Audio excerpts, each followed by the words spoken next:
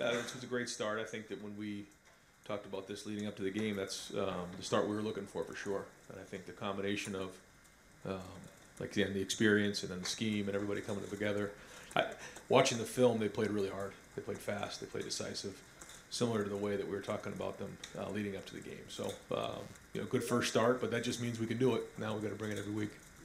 Philosophy in the back seven where he doesn't, you know, he believes the starters are the starters for a reason for the most part. Doesn't like to rotate a lot. Like Tommy played every play, I think. Victor Corners played, starting corners played almost every play. Um, was that a, like? Did you like that when you were meeting with him? Do you like that philosophy? Was that one of the reasons you wanted to bring him in? Well, I think this game was unique in that we only played 49 plays on defense. So certainly you want to establish roles, but I think you're going to see more depth play moving forward. Little third row left, Dan Hope, left the Warriors. Ryan, you said yesterday on BTN about how Jaxon, you know, impacts everybody on the offense. How does he do that, and how do you guys have to account for that if he's not out there? Well, he's just such an impact player. You know, he can, as you saw last year, he can turn a five-yard completion into you know whatever. Um, he's just so explosive, and you know because of that, when you have a playmaker like that on the perimeter, it just has such an impact on the entire game schematically across the board. So, um, yeah, I mean that's just the impact he makes. He's such a great player. I know you're hoping to get him back this week, but do you have to balance in your mind of, okay, maybe we should rest him a couple weeks and make sure he's fully healthy before he comes back? Yeah, we, we you know I leave it up to the doctors and, and the medical professionals, but yeah, we will not bring him back if there's any risk of him getting f- hurt further for the future. Um, so we'll make sure he's 100 percent before we put him back in the game. Yeah. Fourth row middle, Pat Murphy, twenty-four seven Sports. Ryan, you talked about having to win every week here at Ohio State. You had this big game this week, a lot of hype around it. You come out against a non-power five team. How do you keep this same intensity, same everything you need for for a week like this after coming off something? Yeah, I, th- I think um, you guys have probably heard me use that term, competitive stamina, and I thought that uh, that showed up in the game um, uh, on Saturday night. The way that we played in the second half, and certainly in the fourth quarter, uh, was tremendous because we knew we were going to be in those styles of games when you're playing against really good opponents. Uh, we were in some of those games last year. We did okay with other games. We didn't respond like that. We did the, uh, on Saturday night, and that was a job well done. But that doesn't mean anything this week. You know, we say it all the time after a Sunday practice. Uh, once we walk through those doors and, and practice is over, we head up to victory meal. The game is done from the week before, no matter what happens, good, bad, or indifferent, um, because we have to move on. Because nothing we did last week matters, uh, and it goes back to that term, competitive stamina. Can we bring it every single week? And you've heard you know us say this, and coaches say it all the time. But we create the, our standard. You know, what is our standard? So um, it's been about us, always has been about us, and we'll continue to use that message this week. And you talked after the game, and you've mentioned a few times, CJ is not focused on stats, he wants to win. Is that something you've seen from quarterbacks as they get into their second, third year playing, starting, whatever it is, or, or is that a little bit unique for him? Um, I mean, everybody's a little different, but uh, I think what makes CJ unique is um, a lot of things. But he's um, a special young man. He um, there's a lot to CJ. He's very deep. Uh, certainly an excellent player, but uh, I think the impact that he's making on this program um, has been significant, not just on the field. And you could feel that on Saturday night. Fourth row right, Tony Gerdeman, Buckeye Huddle. Ryan, uh, Jim addressed the Lathan Ransom playing time after the game, saying they wanted to ride the hot hand. This isn't necessarily about Josh, but is, is it fair to say there's a lower tolerance for mistakes defensively now, or is this a product of depth, or is it a combination? Um, no, I think it's a combination of all of the above. Yeah, and then you know when you get in that first game and you don't have a lot of at bats, you have 49 plays. Um, I think more of those things come to the forefront, come to the surface. But um, no, we're going to need Josh. Josh is going to have to play for us, and he'll play a significant amount this year for sure. And even if there's no message sent, is it fair to say the team received a message from something like that? You know, I don't know. You'll have to ask them. You know, but um, you know, I, I'm, I'm very pleased with the way that the guys played on defense, and we'll have to continue to build on that. But um, the good news is we have really good depth, you know, across the board, and certainly on defense and in the secondary. So, um, you know, those guys are going to play, and when they get their opportunity to play, they got to make it count, and that's what being at competitive excellence is. You know, we have these. Uh, terms that are part of our culture, and one of them is that competitive excellence. When your number's called, do you make the play, yes or no? Um, and so, you know, that's what we're looking for. Right next door, Rob Oller, Columbus Dispatch. Ryan, when you get a guy nicked up like Jaxon, uh, I know you defer to the medical people, but how hard is it as a coach when a kid really wants to get back in there, whether it's during the next week's practice or during the game? Just how do you deal with that sort of emotionally? Yeah, it's hard. I mean, especially in big games like that, when someone's worked so hard for that moment in such a big game, and Jaxon certainly enjoys being in big games. He thrives in it. Um, but we first, like you said, go to the medical professionals and say, you know, can he play or not? If the answer is no, the answer is no. If the answer is yes, the answer is yes. If it's somewhere in between like that, we got to kind of see how he does here. Then it depends on um, kind of the maturity of the player. You know, and with Jaxon, um, you know, we trust Jaxon, so we wanted his feedback, and you know, we tried to see if he'd get in there and play, and then just said, you know, I'm just not going to be at my my best here. I don't want to put the team at risk, and so you know, we have a, a more experienced guy who's played. You can kind of trust him a little bit to give you some feedback if it's one of those things we're trying to figure out. But um, but at the end of the day, uh, it comes down to the doctors and the, the trainers. You've done this a long time. What impact does a, does a serious injury to a, to a key guy or any guy have on the team? I know it's next man up, but like to the vibe of the team, what does that do? Um, you know, like you said, you have to kind of move on, and, and there's just different things that happen to you. And, and we talk a lot about the events that, that are going to happen, the adversity that's coming our way. And the only thing that we can, res- you know, control is our response. There's nothing we can do about what happened.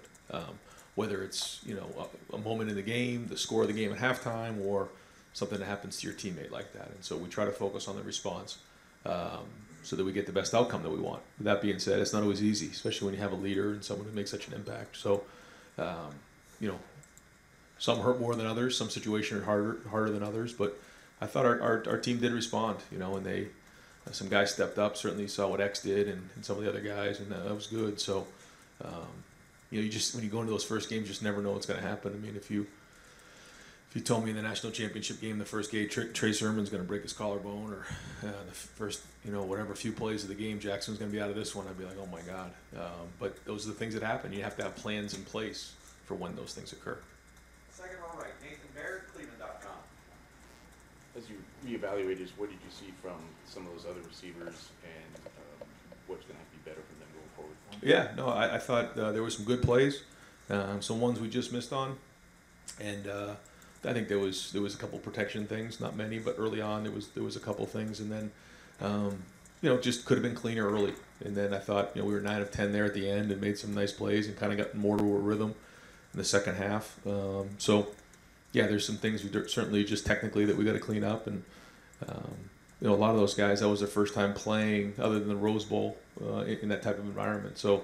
Um, a lot of good things out there, but a lot to build on. We, we still got a lot of a lot of improvement to make. Certainly, know where we need to be. And speaking of guys playing for the first time, I know Donovan Jackson had played before, but obviously a, a big start against uh, what was going to be a pretty good defensive front. Um, your evaluation of what he showed physically in that first game? Yeah, uh, same thing. Had some really good plays. Had some plays he wants back, uh, but for the first game against a very veteran defense and veteran front, um, uh, solid job. Solid job. Um, I think he graded out a champion, and um, and especially the way that we played in the fourth quarter, he was a big part of that. Third row left, Bill Landis, Rivals.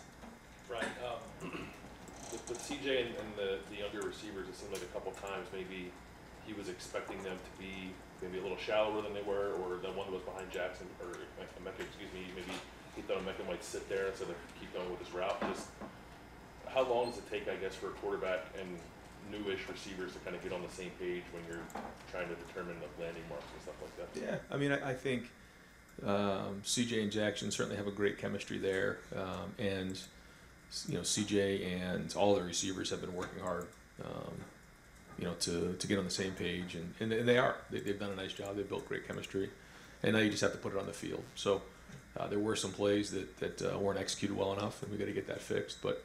Um, we've seen it in practice done the right way, and so um, we know that they can do it. It's just a matter of going and do it on the field.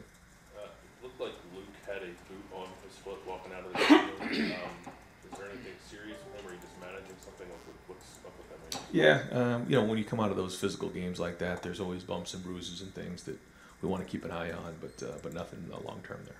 You had, uh, I guess, the contingency plan up front. If you had to put a new center in, is it Matt? Is it Jacob? And then if it's Matt, that who's the guard? Right. Yeah. So when Matt went down, Enokk came in and actually gave us some good good plays there. We had a, a counter play where he came around, did a nice job, and, and I think we picked up about eight or nine yards on that play. Um, and so yeah, it'd be one of the two. We'd either move Matt to center and then move Enokk over to guard, or or you bring Jacob in. Um, so those are our two options there. Over to the right, uh, Dom Tiberi, WBNS 10 TV. Thank you. Uh, coach, after the game, you said you thought that the way that you guys won that game and had to, you know, get it done in the, in the fourth quarter, that would pay dividends down the road. Learning to win that way, how important was that, and was that what you were talking about? Yeah, I mean, um, you know, uh, Coach Freeman talked about it after the game that their uh, game plan was to, you know, shorten the game and run the ball and control the clock and, and limit our- limit the possessions on our offensive side of the ball. And so, when teams want to do that against us, we have to be able to win in those games and respond. And uh, and that's something that's a little bit of a common theme for us. And so, uh, being able to run the football, stop the run, control the game in the second half, and play good defense is what we have to be able to do. And we did that. Um, and in a physical game when you're not going to get as many plays. So um, I think looking back, we could have been more efficient. You know, certainly in the first half on offense, because every play matters in those styles of games. But um, I thought the attitude was excellent. I thought the toughness was excellent. I thought the way that we played, uh, we took care of the football. We tackled well. Those are the things you need to do in, in opening games. And certainly with the help of the crowd, we were able to kind of um, you know push through in the fourth quarter. And I think it was a seven seven minute drive there in the fourth quarter where uh, typically in the past we'd be going a little faster and you know maybe trying to score a little faster, but you know we were controlling the game and we felt like if we scored there we could make it a two score game and if we got one more stop the game was probably over. And um, again that's not typically how maybe we've done things in the past here, but when you're playing good defensively and you're running the football, a win's a win. Do you subscribe to the theory you make the most improvement from game one to game two, and if so, where do you wanna see the biggest improvement this week? Um, I, think that's a little bit of coach speak, you know, but I- but I think that um, the reason why people talk about that is because when you are in the preseason, you make a lot of assumptions based on going against your defense or what guys are going to do. But then once you get on the field, you realize what's real, and uh, and then you have to be able to make those adjustments and figure out what that is. Um, kind of wake some guys up. So we'll see. Uh, I, there are certainly a lot of things to improve on. The issues are always there, and, and we got to get those addressed. And and that's the key. You know, when when whether it's week two or week five or week seven or week ten, we have to be able to make those adjustments, figure out what those issues are, and get them addressed. And, and usually, it's like I say all the time, when there's issues, it's one of three things: it's either coaching, it's execution, or it's personnel. And so, um, or, or scheme. Um, and you know, once you identify what those are, you got to get them fixed. And and then the, the test is on Saturday. Can you tell us what Jaxon injured, or you? No, I, I'd rather not. Yeah, get in because once I start getting into that, and then I have to kind of do that for everybody, and so we've kind of kept it um, just available and unavailable, and I try to do the best I can to at least give you an idea what's going on, but not give details of the guys. Uh, third row right, uh, Spencer Holbrook, Lettermen Row. Ryan, when your defensive line plays the way it does in the first time out under a new defensive regime, are you even a little surprised at times by, by how good this defensive line looks this early in a new system change? Oh, well, it was certainly great to see the play the way that they did. Uh, we've seen a lot of that in the preseason. We've seen a lot of that last spring. Um, guys in the backfield making plays. One of the things that I thought was great in the game was the first play was an explosive play, and I think the easy thing to do would have been like, "Oh, here we go again." And we've talked a lot, long and hard. I know the defensive side has, and I've talked to the defense that, you know, with our style of defense, at any point we can get a negative play, get them off schedule, and either force a field goal or force a punt because um, of, of the different styles and the scheme that we run.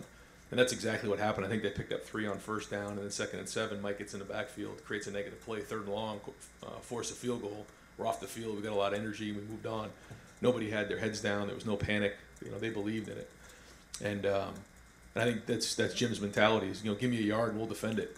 Um, so that was great. But but yeah, to see the you know the defensive line uh, win the line of scrimmage was uh, was excellent in game one.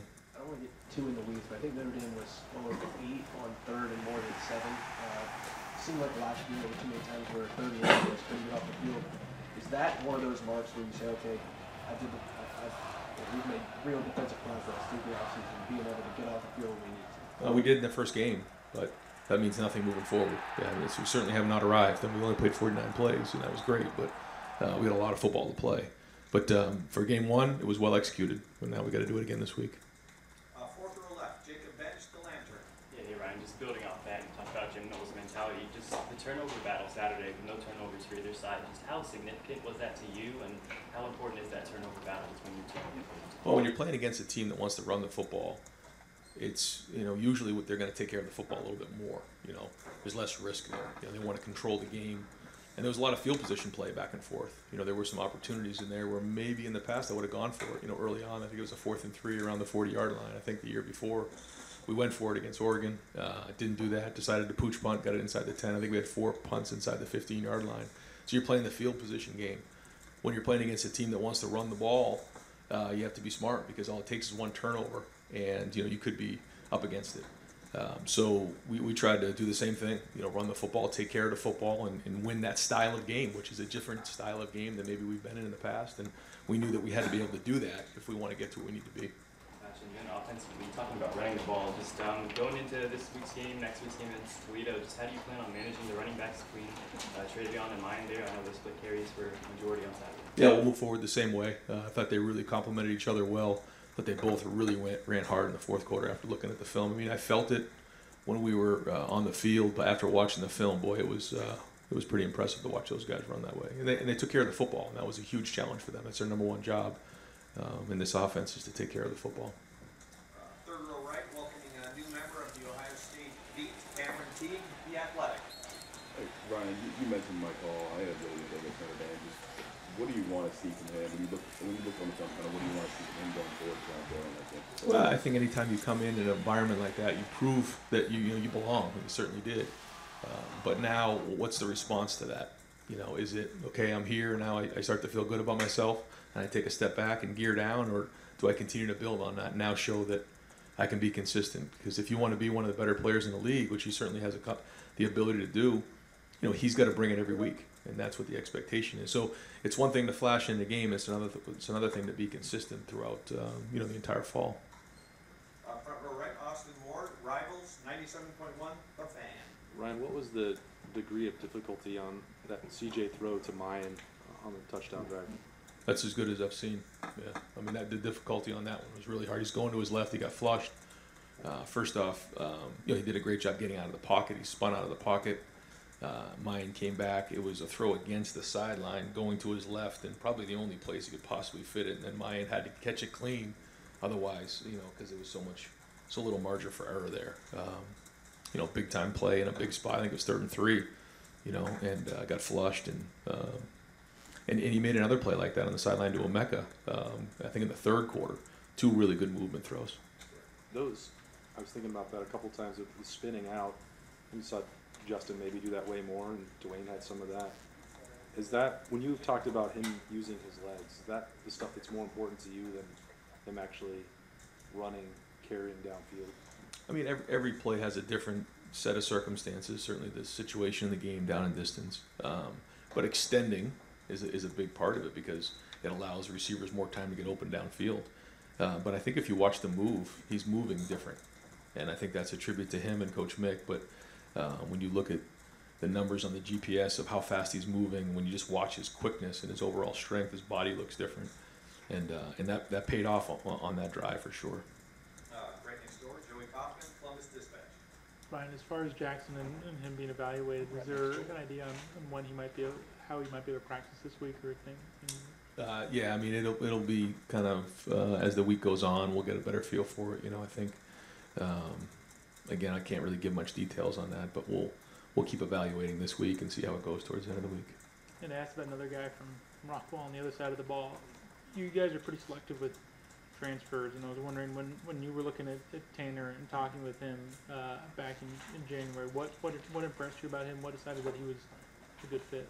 Well, he came highly recommended from uh, Jim and um, and Jackson. They both knew him and uh, made a few calls on him. And when we went to the three safety system, uh, we knew that we needed to bring in, um, you know, more nickels and safeties. And uh, watching him play last year, he's a veteran, you know, experienced guy. But but he fit our culture just by the way he immediately stepped in. Um, he really um, embraced our culture. He uh, has been really helpful to the guys. He's kind of like a coach on the field. And uh, like you said, there's not a lot of guys that fit our culture that way. You know, he and Chip both stepped in this year and did a nice job. Um, you know, just assimilating to the program and um, because it's not easy to do here. Assess the impact he's had this offseason in the opener, having a guy with the level of experience he has in this defense, and, and what kind of impact they have made um, out of the gate. Yeah, I mean, you know, Jim, who um, you know has a few guys in the sports staff, GAs, and guys that have been with him who know the system, helped early on, but, but certainly having Tanner there, who knew the system with the, the secondary guys, uh, made it a lot better because you know, he's out there working extra with the guys, teaching them. Again, he's like a coach on the field, so um, that certainly shortened the time of learning the, the scheme. Uh, second row left, Stephen Means, Cleveland.com. Uh, just from your experience both as a player and as a quarterback's coach, just how many weeks do you typically see it take for a quarterback to kind of get comfortable with new receivers? Um, it, it varies. Yeah, it varies. I wish I could kind of give you a, a number, but um, it varies. Yeah, and I thought there was some really good ones. I thought the throw and catch on the first touchdown, the, the timing was just excellent between he and Emeka. Uh, I thought there was some other good ones too between he and Marvin. Um, the timing on the, the throw and the touchdown pass to he and Xavier were excellent. So there was good signs out there, and you know, there's been a lot of work done in the in the um, the preseason too. So you know, we'll kind of keep working at it this week and see where we are on Saturday. And then, how much more control have you given CJ at the line of scrimmage? Um, you know, you try not to do too much. You know, just because someone can doesn't mean they, they you should. Because you want them to, to, to be clear and be thinking and just you know worry about executing the offense. And, you know, so we try to take as much off, off of our off of his plate as possible. But he's very intelligent, so we can handle high levels of information and does a really good job in protection and the run game, changing plays when we need to to do that. But uh, just because he cut can doesn't mean we should. And so I try to be um, you know very mindful of that. You have to scale him back because he's probably asking for more and more? Yeah, well, yeah, I mean, that, he and I talk about that a lot, you know, and you, typically we'll we'll put a lot in, and then every once in a while I say, this is maybe a little bit too much here. Let me just kind of go play, and we kind of go back and forth on that. And by the time Saturday comes, we come to a pretty good idea of, of what the game plan is going to be and what he's comfortable with. But that's left, Brendan Gulick, Buckeyes Now on Sports Illustrated. but but it is good to have somebody who's older who can give you honest feedback in that area though too. Yeah. Coach, um, I know Julian Fleming was listed as a game time decision. How close was he to getting on the field? Yeah, he, he did, went through warm ups and he was close, and it, it tore his heart out not to be in this game. Um, had an unbelievable off season, did a really good job this preseason. Um, you know, tweaked something leading up to the game, and um, so we're hoping to have him back on Saturday. But as it relates to Arkansas State, what are the unique challenges they present to you? Um, certainly a good coaching staff. Um, you know, good, good players who you know they've added some new pieces. And when you look at some of the guys who have joined their team, you know they come from very good programs, and so they have talent. Um, you know, got off to a good start last week. So um, you know, and, and played some teams really tough last year. When you look at some of the teams that they played, uh, you know, they were they were in those games, even though maybe their record wasn't as as good as they wanted to. Um, and I know with that coaching staff, they're going they're much improved this year. So, um, you know, we got to do a really good job of you know getting ready for a noon kickoff because that's a lot different than it was last week, and and then uh, playing up to our standard. Realize that the goal is to win every game, right? But are there specific things you're trying to accomplish this week? You know, as you, as you try to get into a good rhythm before you get into hard conference play.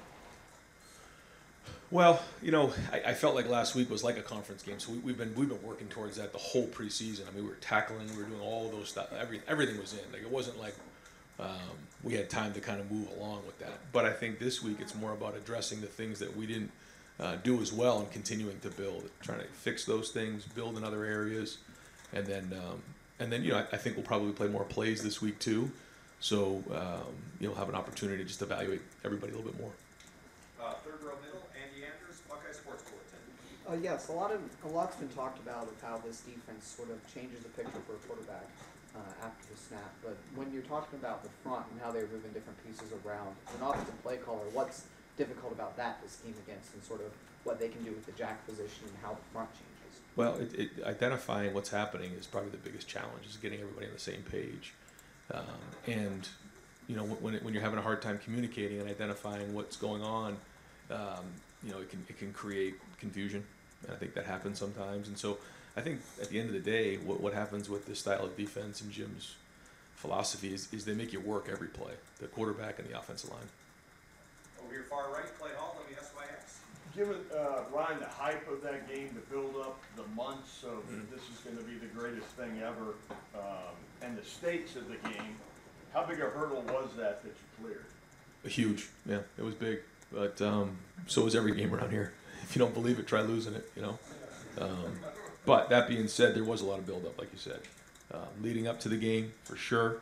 Um, you know, the game being at 7:30 and just seeing everybody there, skull session, the walk, um, pregame. I mean, all of it. So yeah, there's a lot, and so we, we try to be mindful of that with the players, and we try not to, um, you know, get them up, you know, too too early in, in the in the day. You know, it's kind of had to be steady with them and talk to them about the build up, and you have to be at your competitive excellence when the foot hits the ball, and that's mentally, physically, emotionally, spiritually, and you can't just.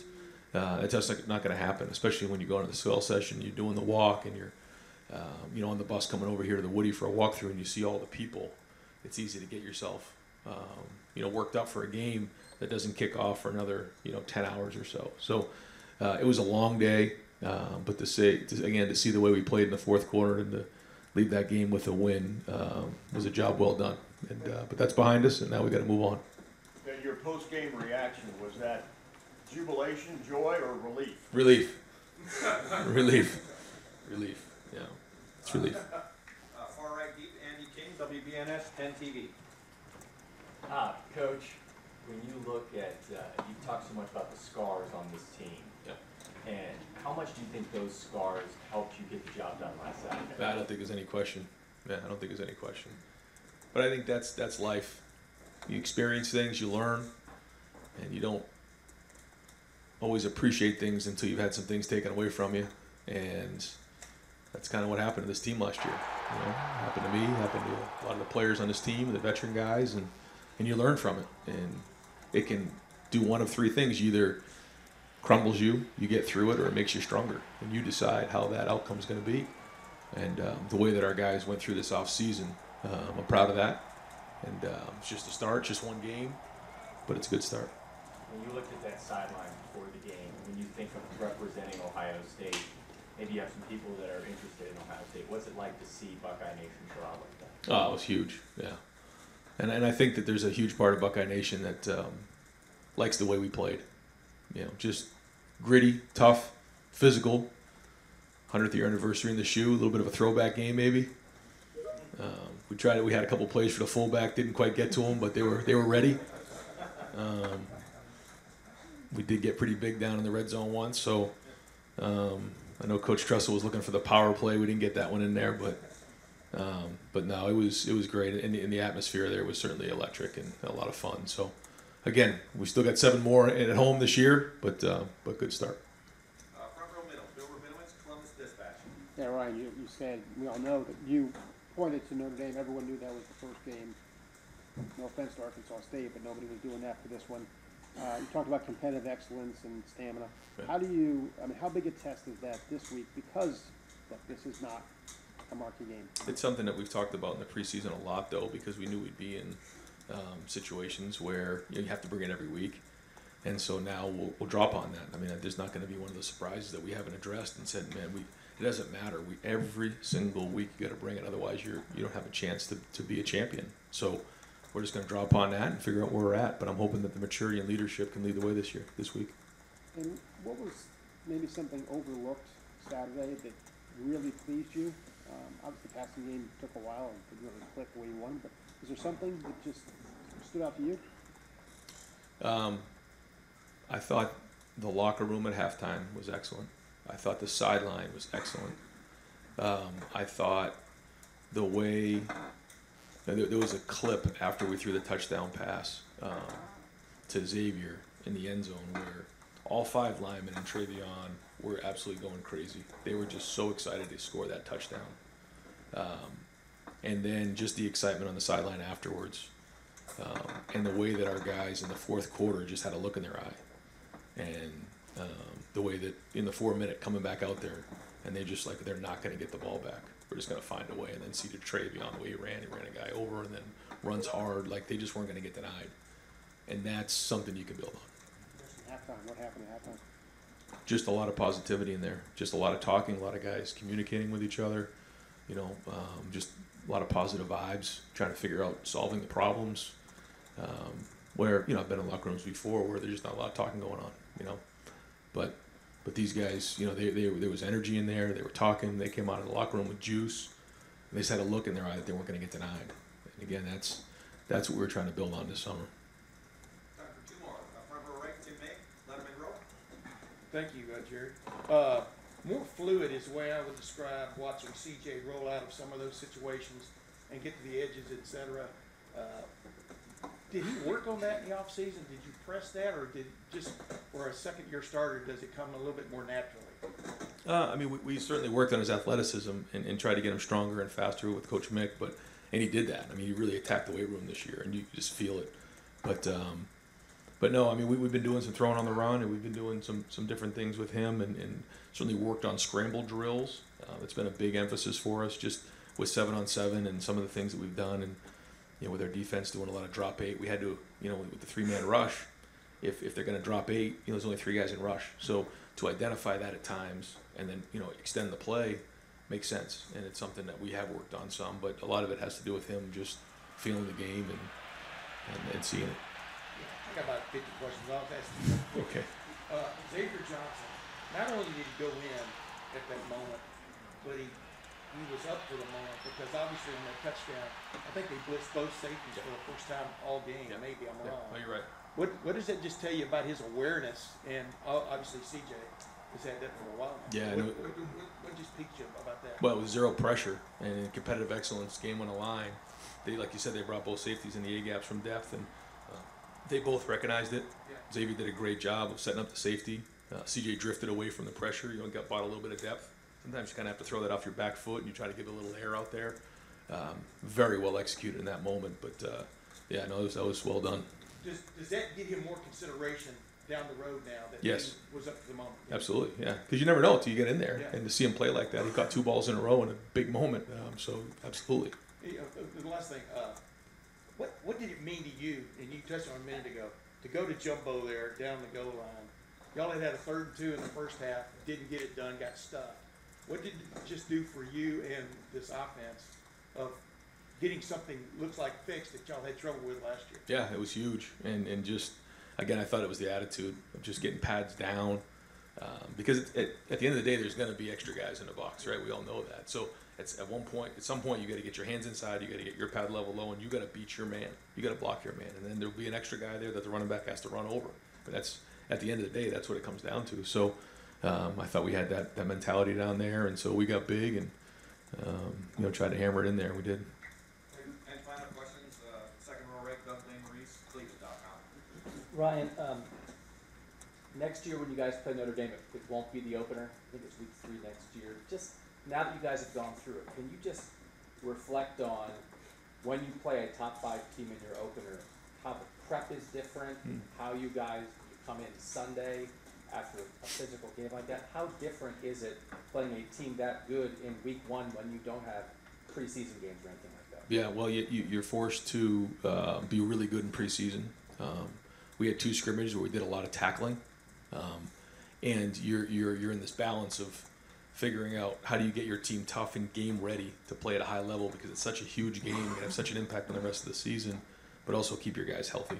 Um, so, uh, just a lot of communication between um, Mick Marotti and I, over and over and over again. I mean, we're in practice. I mean, he'll get the GPS numbers on somebody. We, we'll pull these out, get him out. He's already run too much. Or we look hard and, and think, go over and over and over again how much hitting we should do, how many plays in practice we should have. And so, uh, between he and I, and, and then obviously talk to the coaches about their opinion on things. But we just try to figure that part of it out so that they can be at competitive excellence on that night. And uh, and, and I'll give the players credit; they they believed because it was a hard camp. It was not easy. We went hard. We were physical, um, but I think we had them ready. You gotta play the schedule you're given. All things being equal, when you're playing a big time non-conference matchup like that, prefer week two or three as opposed to the opener, or? But Um, when are you asking me? Now? Great idea. Friday afternoon? Terrible idea. And when you look at this schedule, I'm, I'm not, I'm trying to do a little picture off the big picture. Listen, the twelve team playoff is coming, you know, you guys, that world's coming. You look at Wisconsin and Penn State and Michigan State and Michigan and all the games that you guys have in front of you. Yep. Right now, as you just played a top five team, um, how hard can a team go, how many times a year where you're, could you play a top twenty-five team every week in college football? Like the NFL, you're playing a great team every week, it's very league. Or when guys are in class and they're nineteen years old, do you have to play some games where you're not playing a top twenty-five opponent because of mental and emotional and physical wear and tear in place? Like what, how tough can it be every week? Um, I think that's a great question. I, I don't think I have really the answer to that because we really haven't done that before. So I, I, I'd be kind of speculating. Um, but it's something to think about for sure. I just haven't quite considered it, you know. Um, but it's interesting, and I think that those are all the really good questions that are coming up as we head into this format. Yeah. You feel, right now, you guys just won that game, Yeah. won the toughest game. How much do you think this team feels it right now, right? Like what, how long is the physical, mental, Well- to get back at it? Yeah, well, that, that that's why we talk so much about competitive stamina because no matter who you play, we have to play the same way. Period. And so when you have that mindset going into a season, that's different than like you're saying, where it's like, okay, I got to get up for this game, but then over here I can take a deep breath. We, we, we cannot do that. You do that, that's how you get yourself set up. And I think that's where why the theme this year has got to be competitive stamina. Bring it every single week, no matter who you're playing, whether it's the number two team in the country, number one team in the country, or somebody that's not ranked. You've got to be yourself. And so we've got to bring it 12 times in a regular season, regardless of who we're playing. And I think you have to really hammer that mindset before you head into the season. You can't just talk about it week three. Um, and we've been talking about it a lot. So we'll see where we're at. You hinted though, what is your, what is your opinion of the twelve team proposed playoff? I mean. I think it's playoff? exciting. I think it's really exciting, but I think there's there's a lot of work to be done to figure out a lot of things. Um, but um, that's why we have the best athletic director in the country to figure those things out, not me. Coach, thank you very much. Sure. Again, thanks for joining us. Uh, coming off of two productive days, you know, us getting here Sunday as a staff, uh, putting the Buffalo game behind us, our team getting in yesterday. Um, again, going through our weekly quality control, um, and then starting on our preparation for Charlotte. Um, yesterday as a team, you know, I don't think anybody in our building uh, comes away from our first game, you know, satisfied that we played uh, to the best of our abilities. Though I do think there were some some good things done in the game. Um, from top to bottom, I thought all three phases did some nice things within the game. The emphasis of us establishing an efficient run game, I felt we were able to do that in, in the game Saturday. Uh, we missed some things in the passing game, which will get worked on. Um, defensively, you know, I like the way we played defense in the front seven. Uh, for the most part, defended the back end, uh, limited the big plays, and then on special teams, being able to uh, create some momentum with some big returns and, and got great great uh, contribution from our kicking game. Um, as with all Mondays, we put that game behind us pretty quickly because of the short turnaround to prepare for our next opponent. Um, you know, the tough thing about this week for us is our first road game together as the 22 football family. And as we all know, it's always tough to win on the road. Uh, our team is uh, looking forward to the preparation that takes place Monday through Friday to give us a chance on Saturday. And, you know, for us, how we prepare doesn't change based on the opponent each week. It's uh, what we do, it's the DNA of, of what we feel we need to do to put out a team on Saturday that's going to have a chance to be successful. Um, I'm looking forward to getting on the practice fields today. Tuesday and Wednesday are our big uh, work days uh, where the, the brunt of our game plan goes in. Uh, for the most part, we got out of the game pretty healthy, um, which is a good thing. Our captains for this week, um, Colton Spangler, Tyler Baylor, as well as Jaelyn Duncan will be leading us down there. Um, and, and before I open up for questions, I definitely want to give a, a huge shout out to Frances Tiafoe um, for the big win yesterday against Rafa. Uh, it was great to see him have a breakthrough uh, match like that, and really proud of him having gotten a chance to know him over the last five, six years. Uh, has been a dear friend of our program, so congratulations to Frances as well. Mike, you've said over the years that the biggest improvement of a team is from week one to week two. Where, what big and what big picture and what little things are you looking to see a little bit better from week one to week two this year? You know, I think overall the efficiency on offense. Um, if you look at it, to have 13 um, thirds down situations, and I'd say over half of them were second and extra long situations, whether it was penalties, uh, negative plays. You know, we can't be what I call a big little offense. Um, I like us to be efficient. If you look at that opening drive we had where we went down and scored, that's the efficiency I feel we need to play with, where we're getting four or five yards, and then we get a big play, and then we keep that momentum. I felt too much on Saturday that there were some big, big little plays where we hit a big play and we'd have two negative plays. And you know, to play good on offense, it, it, you have to stay ahead of the chains, which means staying out of the second and extra long situations, which puts you in tough third down situations, which we were in all year, all game long. Um, from a, a, defensive standpoint, we talked about it after the game. Um, having watched the tape, it's just playing the deep ball. We were in good position. I thought there were a couple times some of the young corners panicked and uh, didn't necessarily play the technique, but um, you know those are the things that I'm looking for, seeing us make those strides where all three phases uh, get better from week one to week two, and uh, I think we will.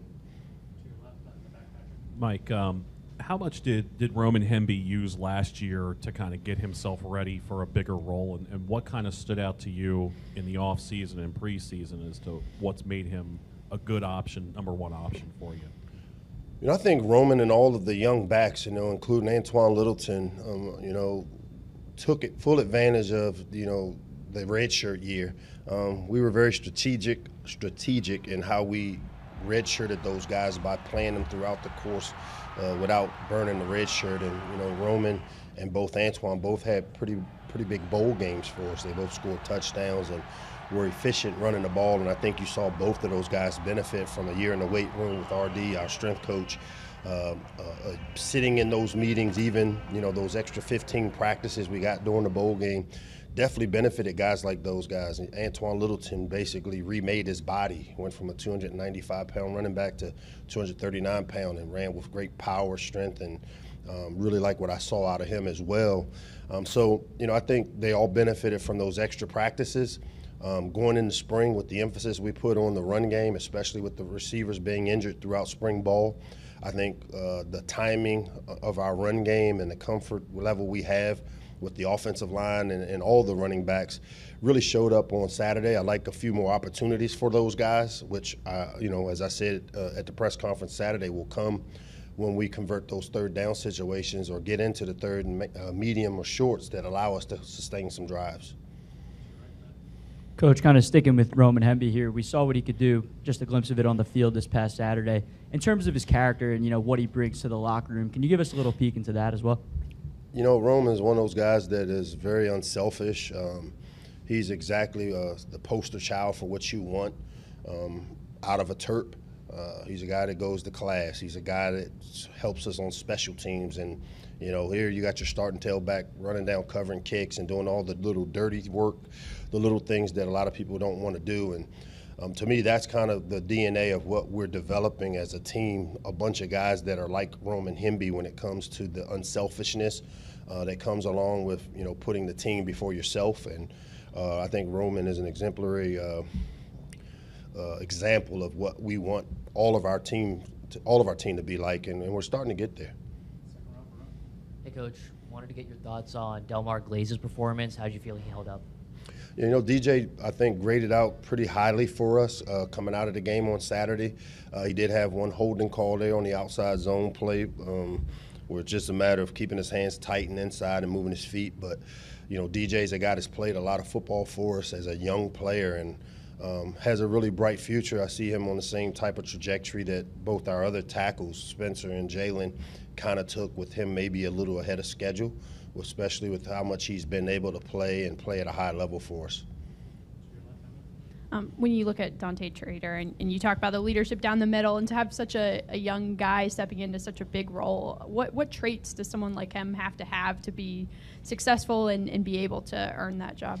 You know, I think it comes from confidence. You know, when you lead as a young player, it starts with your confidence. And I think confidence comes from knowing your assignments, uh, understanding what it is we're asking you to do when you have that confidence, it kind of shows out now and it allows you to now have an impact on the other players. And unfortunately, the safety position, much like the quarterback position, comes with uh, leadership attached to it. Um, here, uh, a young player, uh, we try to develop leadership within our team, and that's why we created the Leadership Council that he's been a part of since he's been here on campus you know, the biggest thing that jumps out is when you're not afraid in this day and age, peer pressure runs society.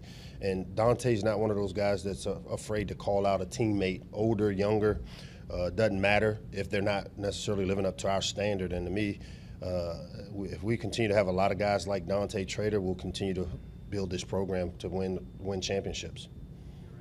Hey, Coach, you mentioned Frances Tiafoe in the Open. Um, I was uh, curious specifically what your relationship is like with him and what his relationship is like with the program and how he represents the area, even though he didn't go to the school. Yeah, you know, he's a guy that grew up right down the road at the uh, Junior Tennis Center. Um, I've gotten to know Frances probably since he was 14, 15 years old. And uh, when I came back here as a head coach, uh, he reached out uh, through mutual people. And um, I kind of see myself as a mentor. Um, he spends a lot of time here in our facility when he's uh, in town. Uh, I know our training room. We uh, laugh because, you know, yesterday during practice, I saw our trainers all on their phones, and I said, "Listen, we got guys practicing, and, and you know, they they take good care of Frances when he's here in town, and uh, he's been a great supporter of Maryland football. He's friends with some of the former players and current players. He's one of those guys like myself that loves everything DMV, and so." Uh, it's good to have guys like him around. Um, you know, he, he, was looking for an opportunity to have a breakthrough win. Uh, I kind of see us in that same trajectory where we're a team that's kind of grinding in the dark that will continue to um, push through and, you know, hopefully get one of these breakthrough wins like he had yesterday. Coach Jeshaun Jones, he had a really big first half, some explosive plays. Just talk about what it means to have him back in the offense after battling back from injury for the second time now.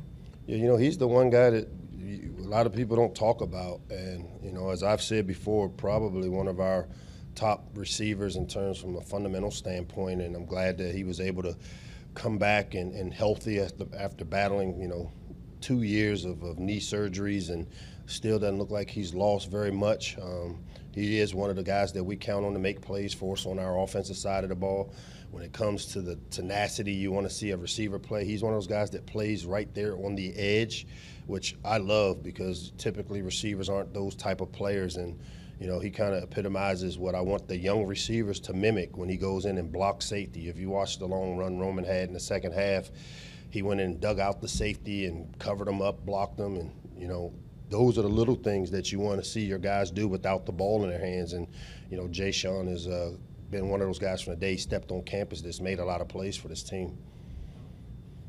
Hey, Coach. Uh, Tai Felton had uh, a lot of opportunities um, this this past weekend. What have you seen from him so far that's allowed him to get those opportunities? You know, Ty was a guy last year that came on near the middle to the end of the season before he went out with a hamstring. And, you know, you can't deny the type of speed that he has. He's one of the guys that can take the top off the defense with his uh, speed. Uh, he's made a ton of plays, probably had one of the more productive training camps of all the receivers. And he took a lot of uh, reps because obviously with Dante and Jeshaun being on pitch counts as we uh, bring them back the right way, he's kind of taken on quite a bit of that load. Um, you know, he's another guy that will continue. I said it last week. I see us with pretty much six starters at the receiver position. When you, you know, look at how we're built there, um, he rotates in like the rest of those guys. He'll have opportunities because of his speed, and really, really, uh, for one of the younger guys, has put himself in position to be a guy we can count on. Um, Coach, there are some programs who hardly ever play any non-conference road games. Do you think there's a benefit to going on a trip like this before conference play and, and you know getting one under your belt, or would you prefer not? To I, I would prefer to be playing at home uh, this week.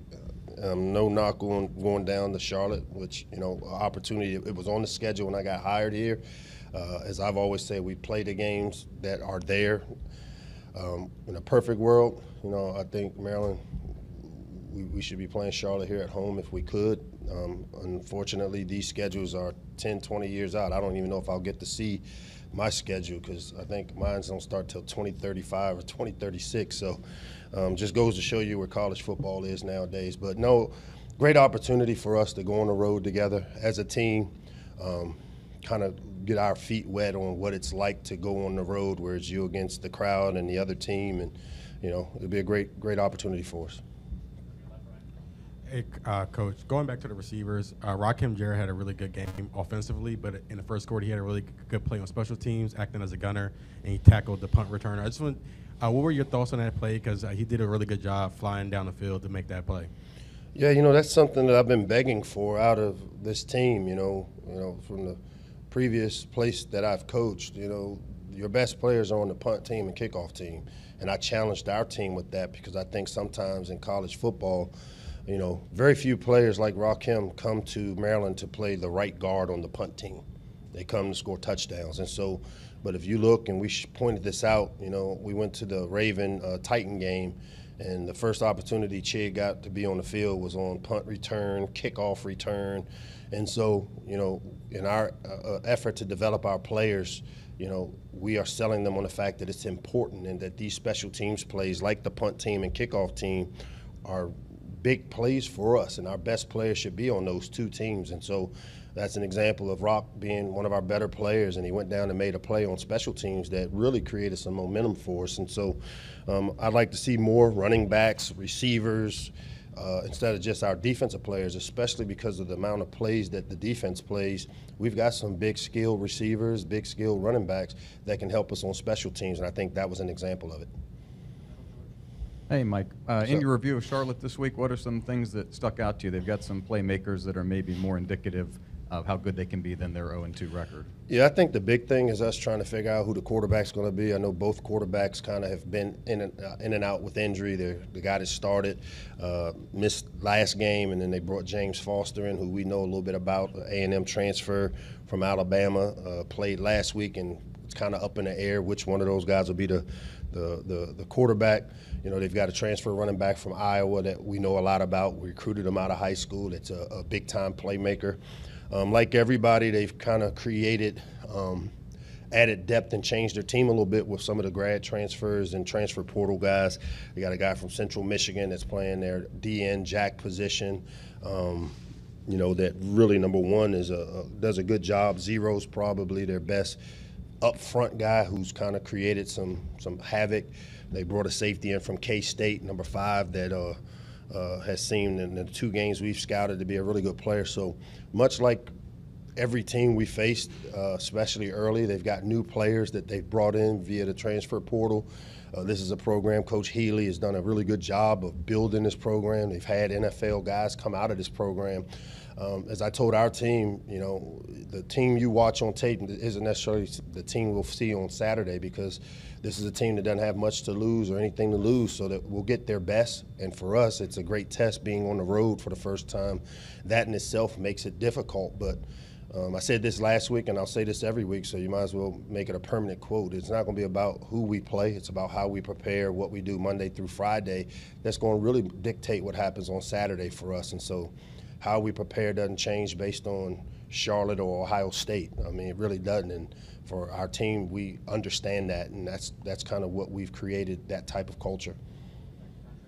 Mike, I'm sure you have more more than a passing familiarity with Jared, Jared Bernhardt and the story that he had. You know, obviously playing lacrosse here, going to pro day with you guys, and then making the Falcons. Just what did you see from him from that experience, but also just how remarkable is it from a football perspective that a guy that hadn't played for four or five years goes from playing lacrosse and then 15 months later is making an NFL team? Yeah, not real surprising. I mean, you know, I've not been asked that question before, but I know I've taken a lot of heat every time he, he left here and won a national championship up at, uh, I think, Grand Valley State. Um, we actually evaluated him and, and we offered him an opportunity to play for us as a wide receiver. And uh, he decided he wanted to play quarterback. And for us, we had a quarterback. So I'm not surprised at all. We actually put him through a workout, um, showed the skill set. I watched him in our pro day. He took uh, he had his pro day here with us and our team.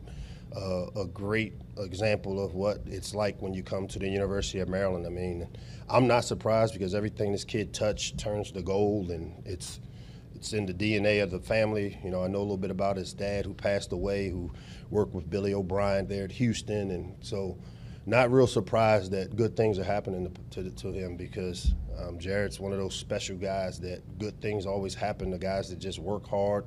He keeps his mouth shut, very humble um, type of player. So I'm excited for him. I saw his two brothers at our all staff meeting and told him, man, he made me look bad, but I did offer him an opportunity to play receiver for us, but he wanted to play quarterback.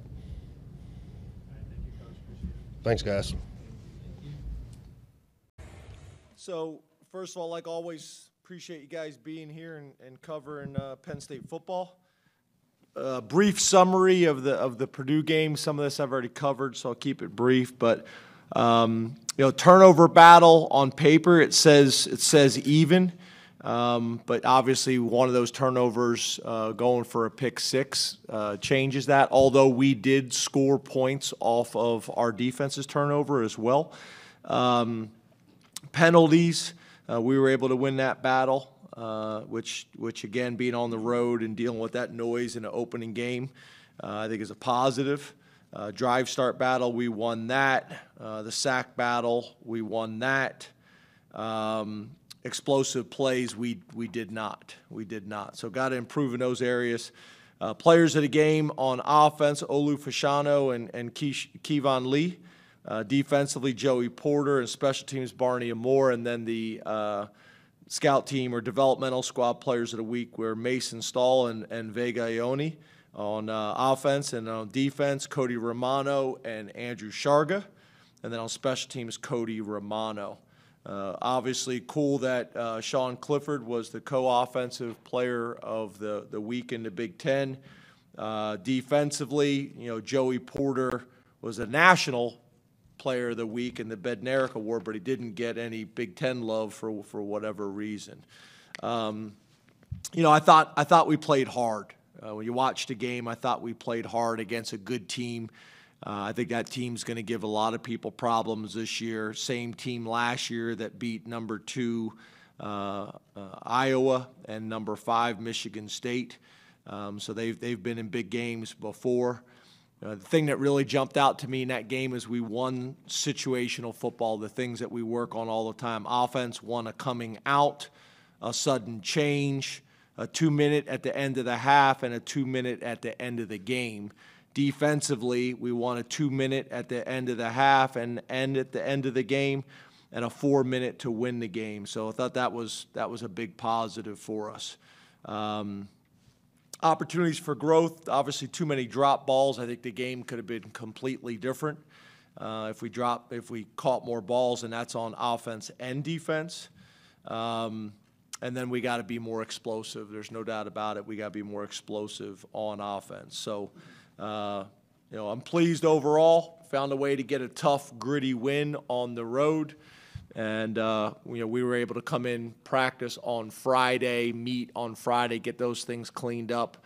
Uh, the players had off on Saturday, and then we went back to our normal uh, work week on Sunday.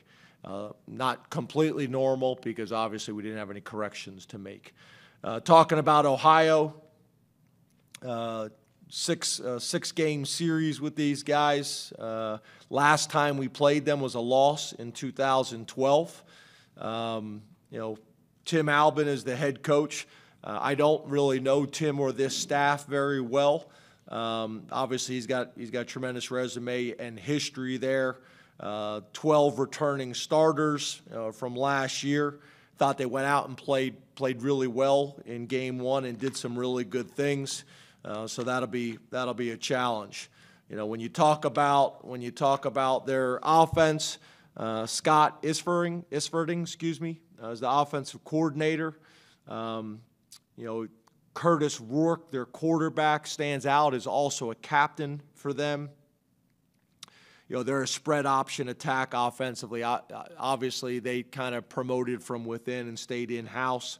Uh, so a lot of things that they did last year are still consistent this year. But Curtis Rourke, the quarterback, we're impressed with. Big, strong kid, high completion percentage. Uh, the wide receiver, James Bostic, and then the running back, who we're familiar with, is a local kid from Maryland, uh, Bangura. We, we've been impressed with him. And then on defense, uh, Spence, uh, Spence Nowinski. Um, they actually hired away from Miami, Ohio.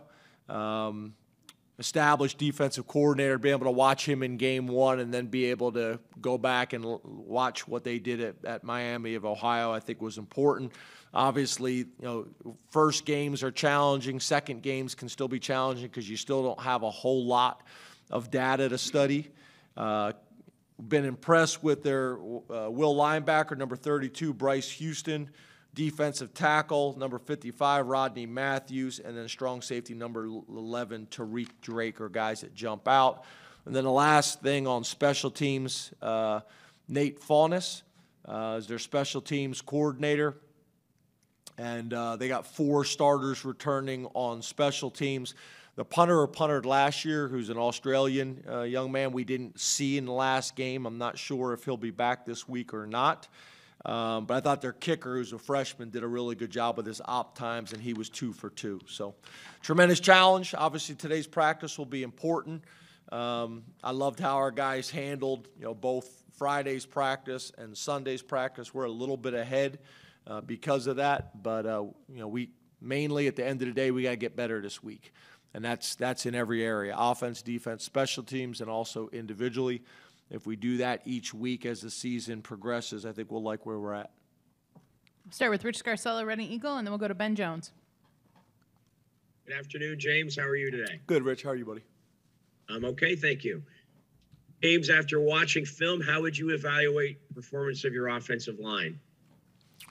yeah i thought um, i thought the majority of our offensive linemen uh, played played well um, we you know had I think one penalty on the offensive line and, and one sack, so we got to we got to clean that up. Um, watching the tape, we had a chance for a few more explosive runs. We had to make that one uh, free hitter miss, and we weren't able to do that.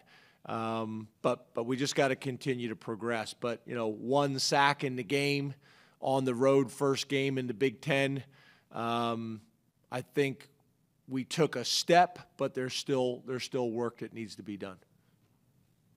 Ben Jones, statecollege.com, then Corey Geiger. Hey James, how's it going? Hey Ben, good man, you? Uh, good. I've never gone this early before. It feels vaguely stressful. Um, Joey Porter Jr.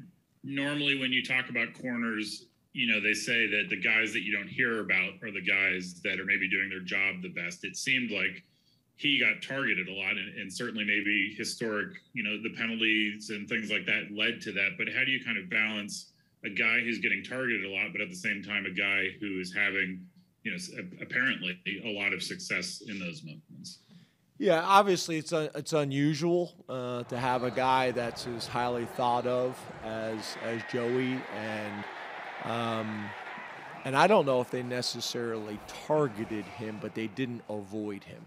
And a lot of times people will just go in a different direction. Um, but I just think they were just they were just going to run their offense and do what they do, and where the defense or the you know the quarterback's progression took them, they were going to go. Um, and I think you know this guy does as good of a job as anybody in terms of uh, throwing the ball. You know, both the the head coach as the coordinator and the quarterback, they do a really good job at it. And Joey kept getting tested, and, uh, as the game went on, you know, really really played well. And um, I think his confidence continues to grow and obviously it's a great way for him to start the season not just not just with the the PBUs but also the tackles uh, and the next step really for him and for us just like I talked about in the opening you know comment is about you know drop balls and that's that's defensively and offensively because that game would have been very different uh, with a couple of those opportunities turning into interceptions and possibly pick sixes for us that I think we're capable uh, of, of doing. So, um, you know, great way for him to start the year. We're going to have to continue to build on it um, because I think that's the key, right? Is is the elite teams and the elite players. It's it's about consistency. Corey Geiger, DK Pittsburgh Sports, then John McGonigal. I do apologize about this. I'm, I'm usually later, so sometimes I don't always ask about just the team. I wanted to ask you about college football playoff expansion, James. What do you think the benefits of that could be, and how, how might that change football uh, once that comes into play? Are there any negatives at all, too? Yeah, you know, in season, I haven't really spent a whole lot of time on this, and this obviously came out um, in season. Um, but obviously, the playoff model has obviously changed college football. Uh, really, really has. Um, and I would say that's that's really starting with the BCS and now now our current model. Um, you know, but I do think I do think if you look at you know most of the sports in college football or sports in general, more opportunities for more teams to get in without going too far. um, I, I think is important. Um, you know, there's obviously always the discussion about teams, you know, maybe maybe uh, that are, aren't Power Five, you know, schools that had great years but are but are left out, um, or a situation like us where where we won the Big Ten championship, you know, arguably top two conferences, if not the best conference in, in all of college football, and be left out. Um, I think it helps resolve and, and solve some of those issues. Um, we obviously, in our sport, we also have to look at the length of the season, um, you know, from a, from a academic calendar perspective, but also just from a physicality perspective. So there's a lot of things that go into it. Um, but I think in general, um, I think it's a it's a positive, and I think it's it's it's something it, that it, that was needed. I, I'm also a believer that I don't think the answer, you know, not just in this, but in everything, I don't think the answer is always more is better. You know, we got to find the, the, the sweet spot for, for college football, for the fans, uh, and most importantly, for the student athletes. John McGonigal, Penn Live, and then we'll go to Neil Rudell. Hey, James, how are you? Good, John. How are you? Good. Uh, so Theo Johnson, you know, he traveled, but he didn't suit up. Was there a chance he'd play against Purdue, and how is he holding up ahead of Ohio? Yeah, um, we were hoping that we may have him um, available in, in, that Purdue game. Um, that's not, that's not our call, um, but we were hopeful. Uh, travel and to see if there was a chance of that, and and we'll kind of go from there. But obviously, everybody knows how much of a big time player he is, and how much respect that we have for him, both on and off the field. Um, you know, so hopefully, hopefully we're able to get him back sooner uh, rather than later. Hopefully that's this week. It, it did, you know, we had to we had to kind of scramble there because we had a big part of our game plan was 12 personnel and 13 personnel and you know we had to scramble the the positive is it allowed us to get Effner some more reps rather than just at tackle if you if you if you watched the tape closely, he actually played like an extra tight end in some in some sets for us, uh, which which also allowed us to get him a little bit more playing time, which which he's earned. Neil Rudell, Altoona Mirror, and then Mark Wogenrich.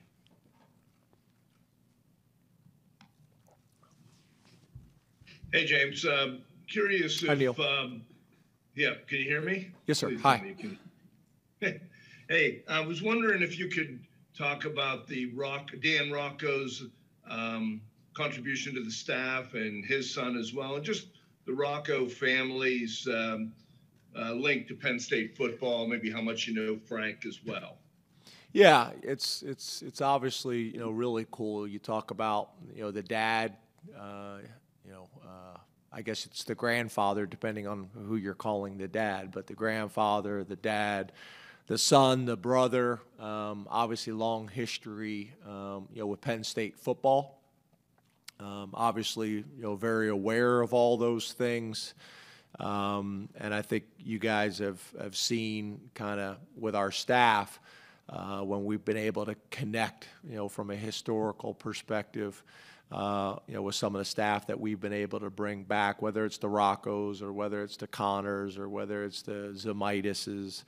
Um, you know, um, I think that's been been important for us. Terry Smith, um, you know, to to help bridge that gap. You know, a place with unbelievable tradition and history, um, and for our players to be able to learn from these guys' experiences, and and for me, you know, to be able to hear some of these things in the past and, and how things were done and why.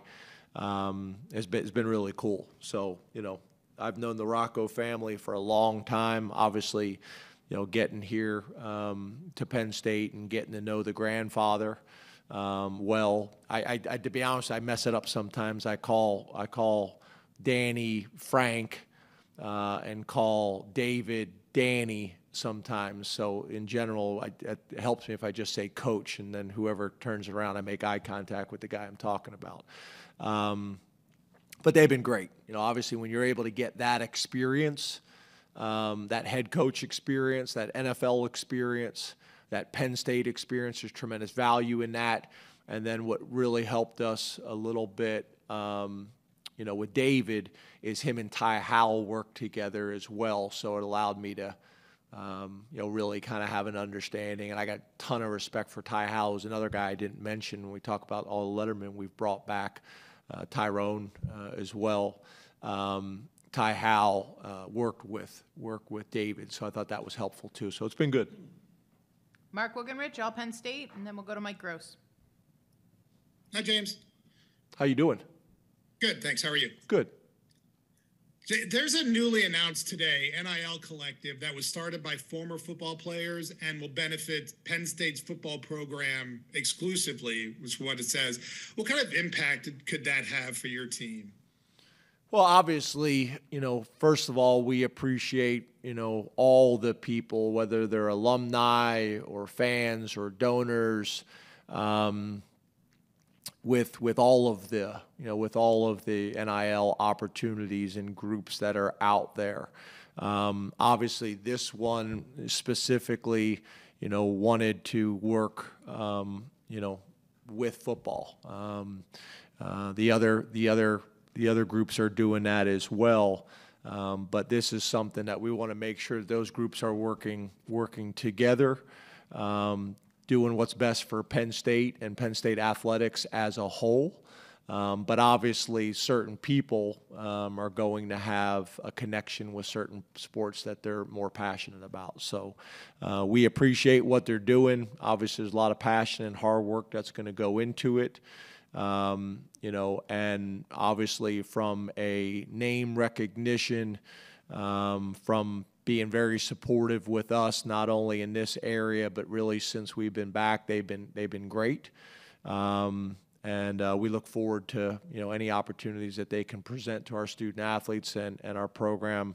Uh, we are appreciative of. We really are. Um, I also I also want to say we got we got a ton of respect and appreciation for Success with Honor and what they're doing, and I think Pat has really kind of come in. Um, and I think has worked really well with these groups outside of the athletic department and, and making sure everybody's on the same page and we're all pulling the rope in the same direction. Last question on the uh, phone line will be Mike Gross, Lancaster Newspapers.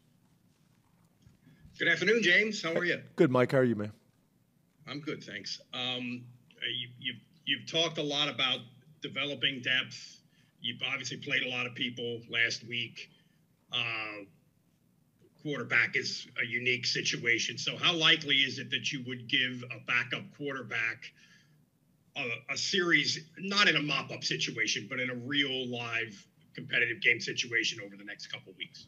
Yeah, we've we've had discussions about that. You know, obviously, um, you know, obviously, we want to make sure um, that we have depth throughout our entire program um, at every position. You know, obviously, I think the last two years uh, that that had a major factor uh, in how our seasons went. So, being very strategic and working hard to to find ways to get guys on the field and gain that experience, not only in practice and our developmental scrimmages that we we just had this one this past Sunday.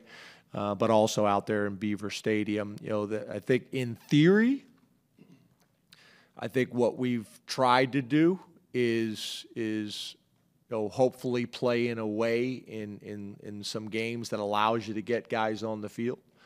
Um, you know, but it always doesn't play out that way. So being strategic, uh, the best we can uh, to to put all of our players at every position uh, in position to gain that valuable game experience. So it's something we're looking at. Uh, you know, we'll see, we'll see how it plays out. We'll open up to questions here in the room. Raise your hand and we'll get a mic to you. Hey, James, how are you? Good, how are you? Doing good. Uh, how would you evaluate, you mentioned that winning the sack battle. How would you evaluate your defensive ends pass rushing, specifically Adisa coming off the injury and Chop in his debut?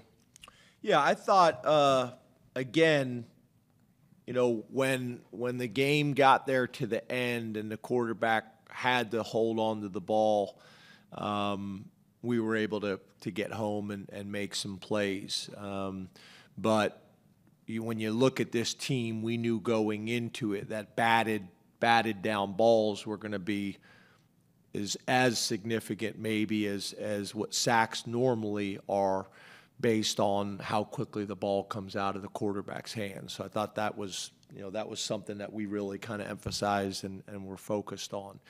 Um, but overall, good. Obviously, at the end of the day, you'd like more tackles for loss and you'd like more sacks. Um, but again, based on who you play, what their scheme is like, you know, you, you play a team like Wisconsin who's going to run the ball 80% of the time and then hard play action pass and be in manageable third down situations. They typically aren't going to give up a bunch of sacks. You play a team like Purdue where the ball's coming out very quickly, whether it's screens, quick game, um, RPOs, things like that. Um, it's it's going to impact it. But at the end of the day, you know, we want to get people off schedule, and the way you do that is with tackles for loss and sacks. Hey James, how's it going? Good. How are you? Good. Uh, after looking at film this weekend, how would you describe the secondary's performance? Obviously, Joey Porter Jr. had a good game, but how would you describe uh, how the other guys played? Yeah, I think really good. You know, um, when you when you talk about, you know, I think we actually had it different. You know, um, the number of pass breakups that we had. You know, uh, you know, a lot of times when you're in the away stadium, the way they the way they chart it is different than you. And it's not like you can call back and make your argument and they really want to have it, you know, the, the following week. But I think if I'm correct, I'm trying to check my notes here. I think we had us down for 14 pass breakups is the, the way I, th- 16? Thank you. The way we had it graded. Um, so, you know, we thought we played really well against a team – that is going to test you and your and your passing game. They're going to test you. Um, so I thought under the circumstances played well. Uh, the area obviously that I that I've mentioned already um, that we gotta we gotta be better at is is when we have an opportunity for for a turnover for an interception. Um, you know we got to capitalize on that. Very similar to when we have an opportunity for a sack. You know we got we got to capitalize on on them as well. Um, but but taking all that into consideration, well, there's there's room for for improvement. James, the uh, two defensive positions that we spent a lot of time asking you in preseason about were middle linebacker and safety. Keaton got the start, Tyler got the start, but there were others involved. Would you be able to kind of share your evaluation through one game on on those two spots and the plan moving forward? Yeah, so I think our plan, and we haven't talked about it for this week yet, um, but you know, Abdul Carter, we were expecting him to play a decent amount in in that game, um, and it, it, was really dependent on how he was going to play. Um, with it being his first game, we didn't want to have a strict rotation, um, but but obviously him i think he ended up playing two plays one on special teams and, and one on defense. Uh, our plan was for much more than that. So this week uh, i'd like to get him a, a, ton of reps both on special teams and on defense. And then obviously this game will have a better give us a better feel of, of how that rotation will go moving forward. I think the plan is probably still the same with Elsdon and, and Kobe to rotate that uh, by series, whether it's one to one or two to two. Um, and then at the other outside linebacker spot, Latest AP Top 25 is here. Penn State receiving votes. Ohio State falls down to number three. We'll have all of these rankings and more coming up tonight on The Big Show. And that'll do it for this Tuesday press conference edition of Big Ten Live. I'm Rick Pizzo. Don't forget, join me for that big show along with Jake Butt at 6 o'clock Eastern.